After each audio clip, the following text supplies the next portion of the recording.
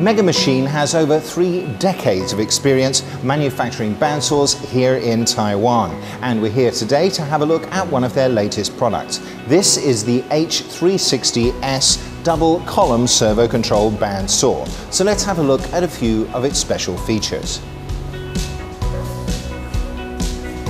The main servo motor on this machine controls blade speed and the advantage of the servo motor over traditional designs is that you can guarantee maximum torque no matter what blade speed you're operating at.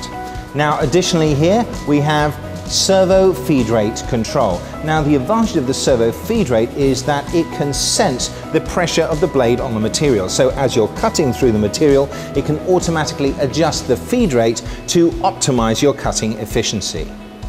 Now finally here we can also see that we have a servo motor and ball screw for the in feed. Now this is vital because with the more rapid positioning of the servo motor and ball screw combination, you can then massively reduce your cycle times. Additionally, because it's servo controlled, your material positioning is much more accurate too, so you reduce material wastage and minimize the machining you need to do after cutting. So let's have a look at a few of these special features here at the front of the machine.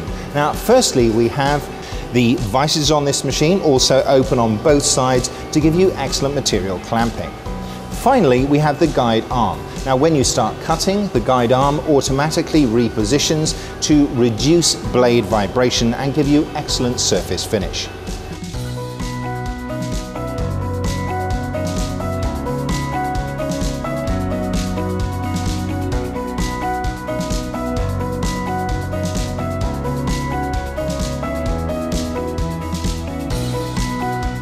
If you'd like to learn more about this or other products from Mega Machine, please check the link at the end of this video.